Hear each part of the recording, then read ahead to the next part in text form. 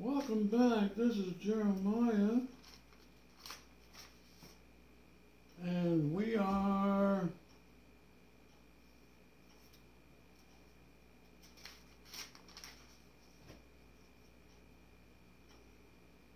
We're looking at Exodus here for a moment because that's where we're headed here.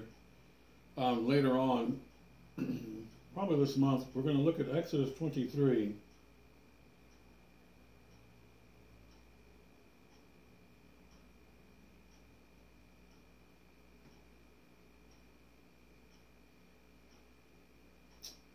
I have quite a few things we're going to mention here. And let me let me speak something to you. This is Jeremiah with New Covenant, and I'm uh, pondering a few things in the future here. This is New Covenant with Jeremiah. We greet you in the one name given, and we rejoice in the coming of our Lord and Savior Jesus Christ as we anticipate the horn of the shofar to get us out of here and to be with the one who loves you and the one who's going to bring you comfort throughout eternity without any more hassles, without any more pains. Uh, we just went through the rapture, and that's what we focus on here quite a bit, is the rapture here. Getting out of here. We occupy. I just had a good small dinner, a small lunch. We, we occupy. We have things to do, and we enjoy things here off and on, but that's not the point. The point is we're ready to get out of here on, on many levels. Jeremiah, you're looking at Exodus 23. Yeah, I was looking here at um, where we're going with this Exodus law. Genesis, Exodus, Leviticus, Numbers, Deuteronomy, the five books there of the law. And of course, we, I wanted to, uh, but I won't look at that right now.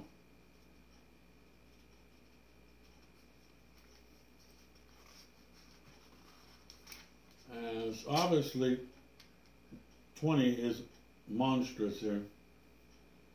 Uh, 20 has a lot to do of Exodus with Deuteronomy 7 and 8 and so forth. And this becomes a big issue for us. Um, and we have numbers after that, of course, enumerating everyone. But uh, and Deuteronomy is your last book there, of course. And talks a lot about commandments over and over again. And uh,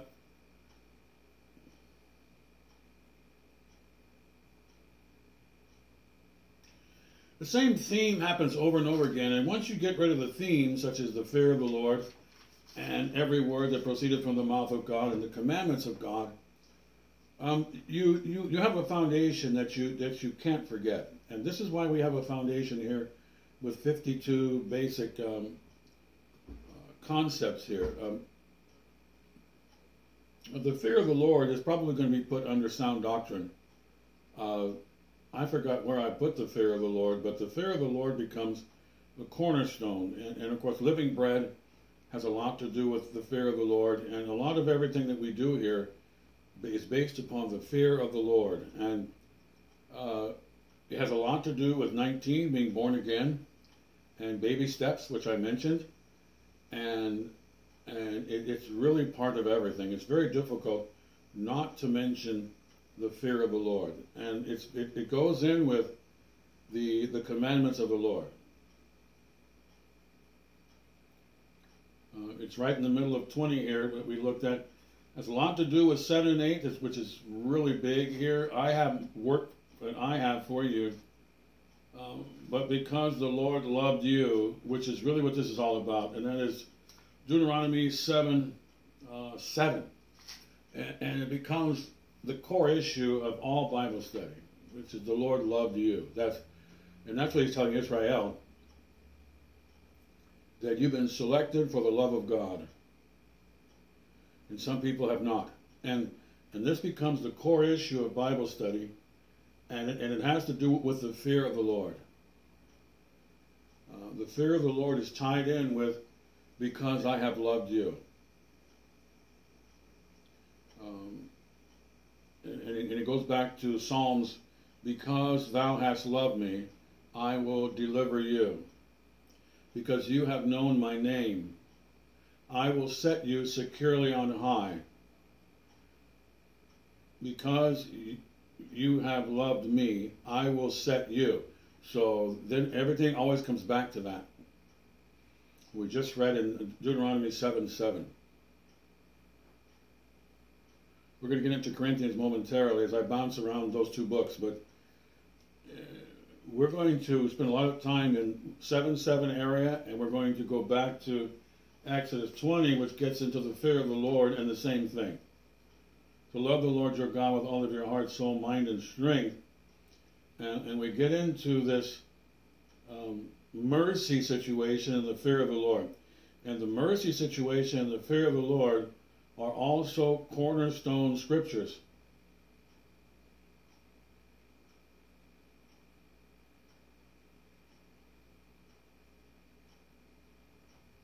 As a Bible teacher, I have to hammer those home, uh, you know, like every other day, every other week here at least. Again, we have to really stay in those cornerstone ideas of Christianity.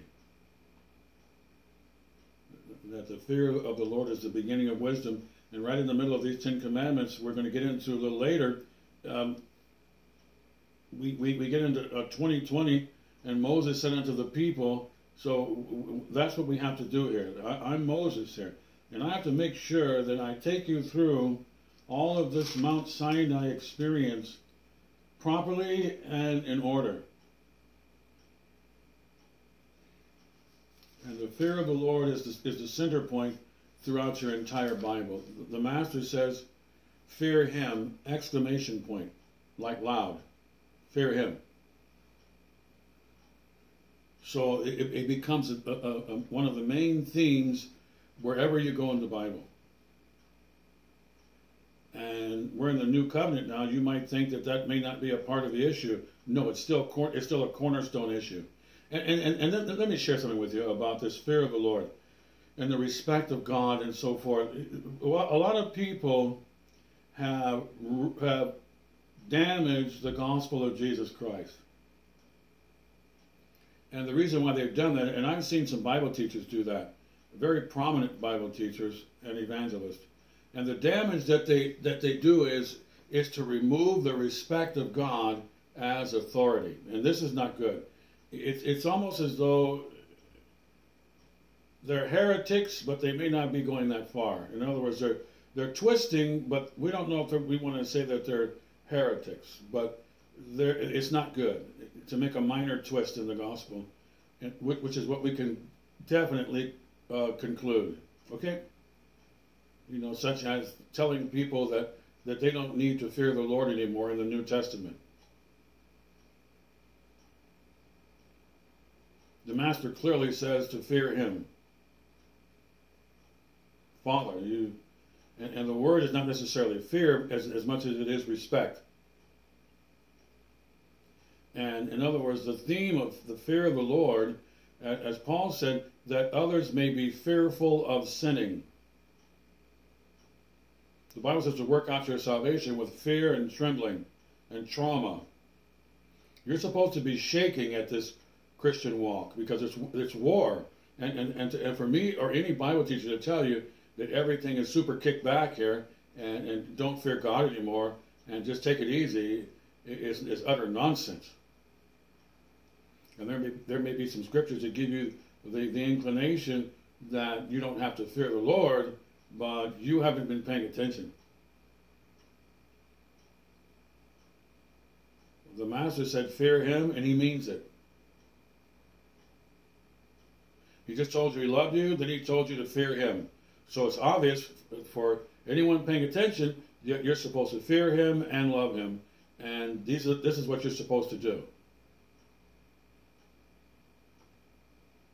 Now, Paul, he dances around that, and a lot of your Bible teachers, you know, in the Bible and so forth, they'll dance around this, this idea, and they're trying to be nice, and they're being cordial, and it's, it's all legitimate. There's nothing wrong with dancing around the idea of fearing the Lord, John, he, he, he, he's definitely someone who doesn't want to uh, shake anybody up, John is obviously a very nice guy, um, you know, who wrote you know, John 1, 2, 3, and the, book of Revelation and the Gospel of John. So he is obviously what you might call a very nice guy. He, he's not really one to give you a lot of warnings. Uh, you know, he's not one to yell at you or anything, and uh, and that's fine. However, uh, he has his job, and and James has his. Let's put it that way. You know, we have different people that teach us, and the master said, "Fear him." That means fear him. So you might say, God is all love, and he, and he you know, he, he he's not someone that you need to fear, which is very common right now. But but it's it, has been dispersed throughout the Christian uh, um, era of 2,000 years uh, uh, from the beginning, where people have snuck into the church and so forth and said, "You don't need to fear God. You, you, he's cool with anything you want to do. So relax, take it easy." and, and you're saved by grace, let me give you some more scriptures that show you that God is, is going to be nice to you all the time, no matter what you do and what you say. And so what Paul has to do is he has to confront that ideology, and so do I. It's not biblical sound doctrine. And when we go to Exodus 20 and, and Deuteronomy 7 and 8, uh, where, where God said, I loved you, I have loved you, it, it, it's not a love that doesn't have conditions. In other words, some people say that God has unconditional love. That's utter nonsense. Uh, God's already basically said a hundred times a Sunday that if you don't love Him, He's not going to love you. So there, there's your first condition right there. And loving Him is respecting Him as Lord, which is which is summarizing your entire Bible. I'm giving you some overarching principles here, and Exodus brings that point home. Um, excuse me, 20 especially. There's another verse or two I wanted to talk about here before we, we get into Corinthians, but I wanted to point out that when you get to Exodus 20, you have don't do this, don't do that, don't do this, and if you do this, you, you, you'll, be, you'll be punished. And so the, the Israelites read this and they go, okay, we can't do this, otherwise we, we dish out punishment. And of course, they misunderstand what was going on. And the first thing they misunderstood was uh, Exodus 20, verse 6, big time. In other words, they really missed out on on your your uh, what, what's the point I want to make? The the clarification of, of the Ten Commandments is in 26 of Exodus. It clarifies the Ten Commandments so that you don't get lost in, into performance. But you have to be you have to pay attention. Most of the Israelites who are in Israel today and throughout history, since the, the, the birth of these five books of the law, most of them have been uh, have been wrong, or they they haven't understood what they're what they're teaching. And the answer to their problem was right in their face, and they stumbled over it. See, in other words, they, they became lawmen, law, law, law, and they missed right in the law um, what what it was all about, which is Exodus 26. That is the cornerstone scripture, basically, of the entire Bible. Israelite, no matter who you are. I had a gentleman at the library, it was hot one day, in the desert. I used to live in the desert for a couple of years, and oh, it was a hot day. It was horrible. I went to the library where they had the AC on, of course, and it was nice to hang out in the library. But you have to face the music. And I went outdoors for a while. It was cooling down a little. And a gentleman walked out of there, and he was yelling, the law, the law, the law. Everything is the law.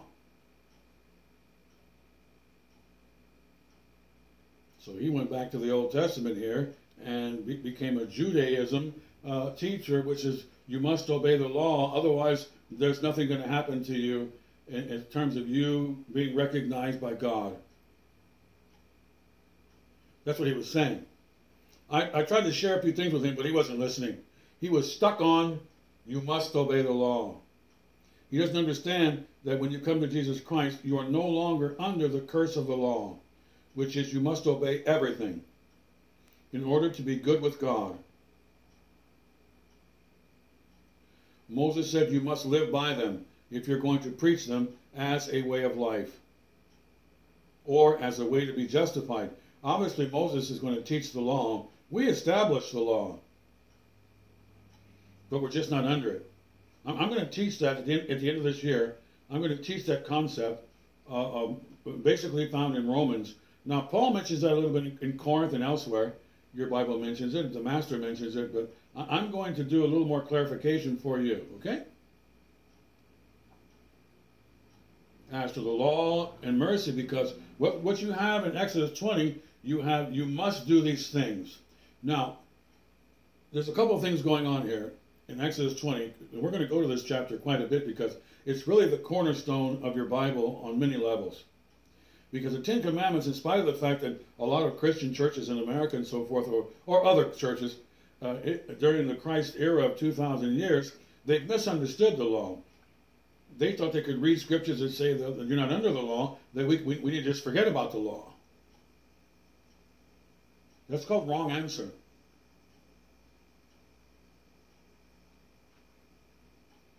I'm going to teach the law here, but I'm also going to teach you that you're not under the law. And, and the key scripture for that, which a lot of people missed, which David didn't miss, which his great granddaughter Mary didn't miss, and probably Joseph, her husband, didn't miss, and Elizabeth, and probably Zachariah, her husband, and uh, the 12 disciples are being indoctrinated into this, which is sound doctrine, not hammer, hammer people with the law. And the basis for this whole understanding is it starts with 26 of Exodus. If you skip over this, you're going to miss the whole ball game.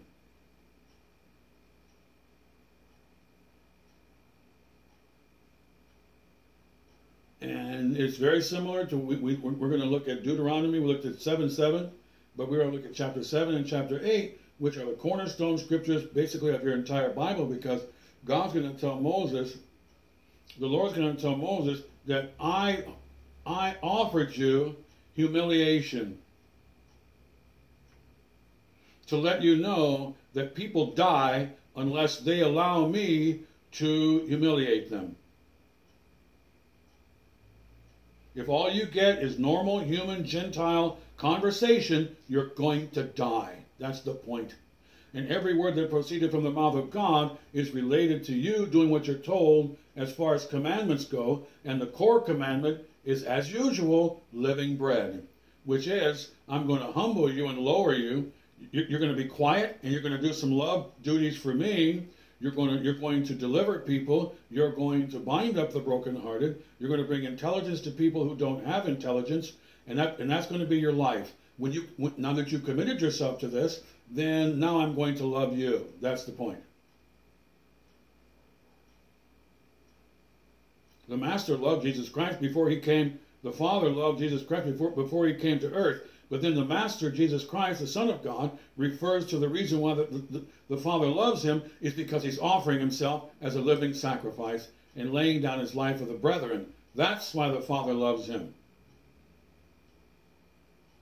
He loves him uh, basically uh, anyway, but since he's going to purchase millions of human beings who are going downstairs so they don't have to go downstairs, Father's happy with that, with that legal purchase. And the legal purchase is only done through humiliation. That's what this is all about over and over again out there. And, and uh, even if you go to Exodus 20 here, or you go to Deuteronomy 7 and 8, everything seems to repeat itself. For those of you who have eyes to see, I'm going to help you see this.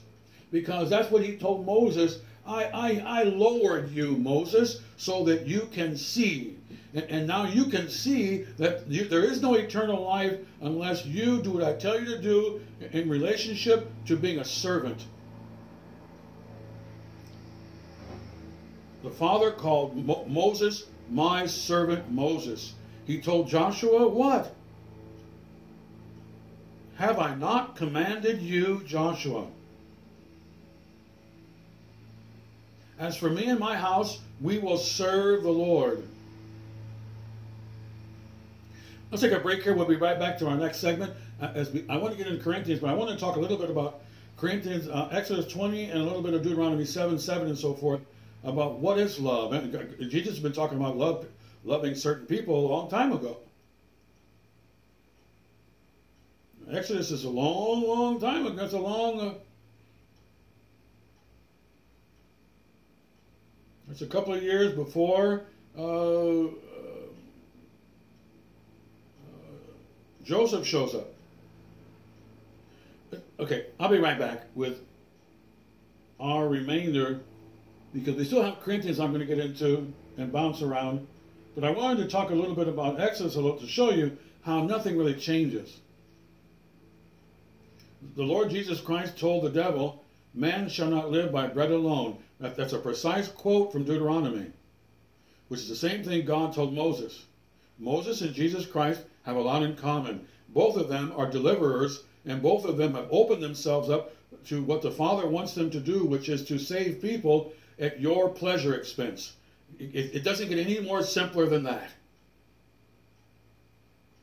Now I'm going to elucidate and, and, and delineate what I just told you, which is what I do here every day. It's about the same thing. Now we're going to get back into money and, and, and hoarding in, in, in, a moment here. And uh, I have some uh, some points I want to make uh, as I finish up my first board here on Corinthians.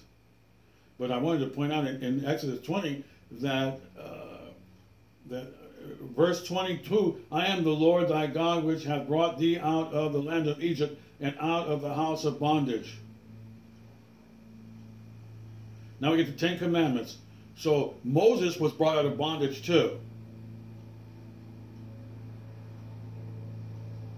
But, but he had to make a commitment to being a leader. See, there you go. Leadership duties. not a piece of cake. It, it, it's not pleasure in Egypt with silk and wine and women or whatever they do out there in Egypt, which is called Babylon, which is the wildlife. Uh, Moses said, "Okay, okay, I'll trade in for the for the pearl of great price. I will trade in everything in my field and go in the desert."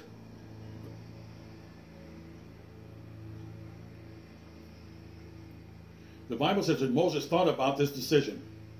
It's basically the same decision everyone does has to make when Jesus made a commitment to to die for mankind and and and to take on the sins of the world. He was baptized and and the Holy Spirit led him to live out his commitment. To go into the wild and live out his commitment. His commitment was to say no to the world because for some reason he loved Jeremiah, which is which is amazing in itself. Behold, what manner of love the Father has given unto us, that we, me, I'm a son of God. Wow, that, that, that's he, he, sure did open up the floodgates. And, his mercy definitely is awfully high as the sky. So it, it, let's get to that. 26, I'm going to shut down here. And showing mercy unto thousands of them that love me and keep my commandments. So here we go. No other God besides me. Don't make any graven image and bow down to them uh, any creepy little creature. Don't take the name of the Lord thy God in vain. Keep the Sabbath. Honor your mother and father. These are the ten right here. And the point is, is that he says, I'm going to have mercy on thousands of people.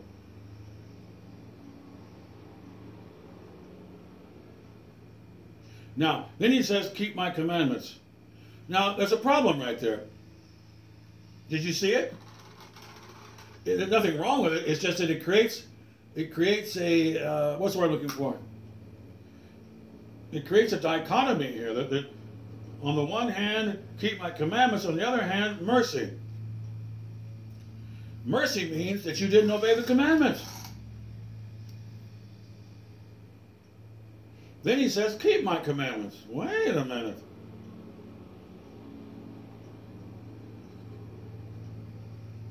Then he clarifies it by saying, "Those who fear me." That's how he clarifies. That's how he clarifies it.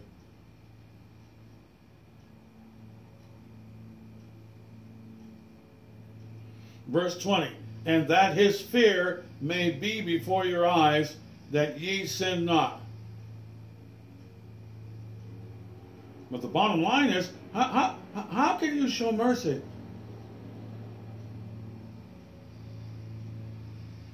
To people who are perfect in keeping the law.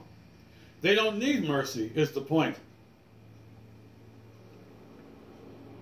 We're break. I'll take a break here. Maranatha. Okay, we're back in action here. Uh, I was supposed to get into Corinthians here, but I, I got a little action going into cross-referencing Exodus 20 and Deuteronomy 6 and 7 and 8 because I'm going to bounce back and forth with you on those references quite a bit because they are the cornerstone of your Bible. It's where, it's where God says commandments are basically everything. When the master comes, he has commandments. Keep my commandments. Nothing actually changes. Now, I'm going to help you understand the difference between Old Testament commandments and New Testament commandments. I'm also going to help you understand that they're basically the same thing most of the time. Or a, a good lion's share. And, and we, we can see that by, by, for the Lord thy God is a jealous God, which is also a reference to Exodus 20. So Exodus 6, 15 is the same thing as Exodus 25.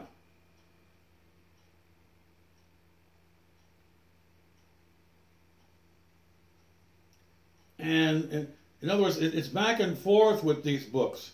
Also, you have references to chapter 8 of the same book, and sometimes chapter 11 and so forth. And so it's, it's basically a, a theme, and the theme is, is jealousy is, is what you don't want from God. What you want is, is uh, uh, uh, Deuteronomy 6.13, Thou shalt fear the Lord thy God and serve him. That's what I want to focus on. I mentioned to you that, that servanthood is the key to Christianity. And for those of you who haven't seen that, you will get it as time goes on.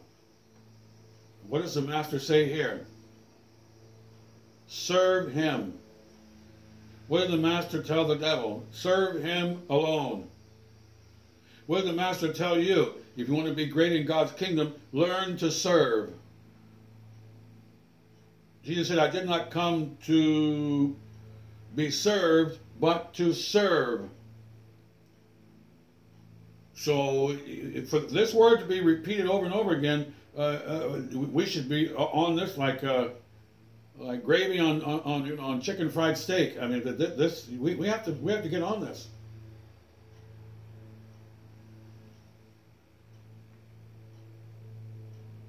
the fear of the Lord is, begin, is the beginning of wisdom, and and and having mercy on those thousands of people I have mercy who have fear of me. So the Lord is saying, "Ooh, you, uh, you better obey all the commandments." Then He says, "I'm going to have mercy on you." So what we have is a paradox. We, we, we, we have, I really want you to be serious about the commandments, but you don't have to be perfect because otherwise I wouldn't use the word mercy. See?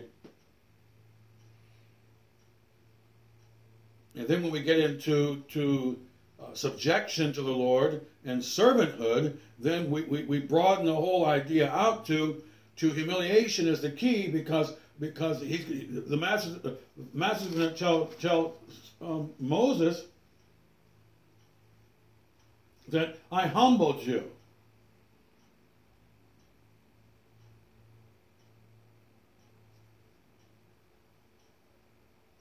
If ye hearken to these judgments and keep and do them. And keep, uh, that the Lord thy God shall keep unto thee the covenant and the mercy which he sware to his fathers. So there you go. You're going to get mercy, which means you're not going to be held accountable for your sins.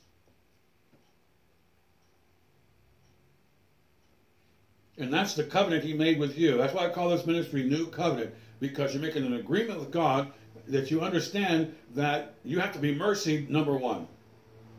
Number two, that he wants you to pay attention to things that He wants you to pay attention to. Put it simply. That's just, we don't need to really elucidate that point uh, uh, anymore at this point. Uh, Mr. Uh, Jeremiah is Mr. Bottom Line. Now, now we have some uh, uh, um, other problems or, or other issues dealing with this, but I'm giving you the bottom line now.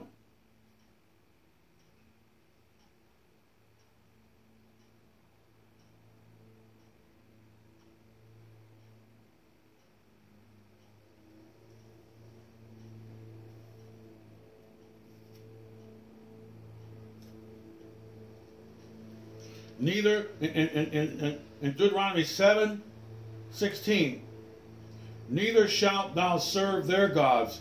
Back to serve again. Service is another word for love and devotion. That's what the master said. He, he gets jealous, and the bottom line is, it, we just looked at Solomon, who gave you a wonderful, uh, eloquent observation of jealousy, that jealousy is stronger than death.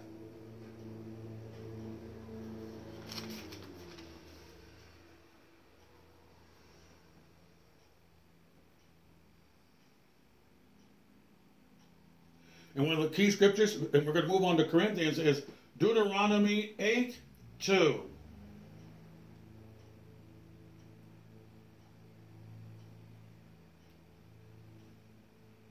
The Lord thy God led thee these forty years in the wilderness to humble you and to prove you and to know what's in your heart, whether thou wouldst keep my commandments or not. And he humbled thee and suffered thee to hunger. There you go. And to give you limited supplies of things that are along the lines of pleasure. Everything is the same thing over and over again. And it's in contrast to where you lived in Egypt, where you were the prince and you had luxury and satin and wine and song. Now, I, I introduced some difficulty for you and told you to do this and told you to do that to see if you love me and to see what was inside your heart.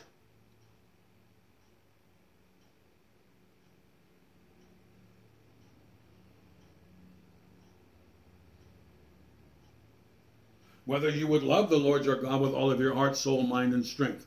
We'll be right back with our next segment.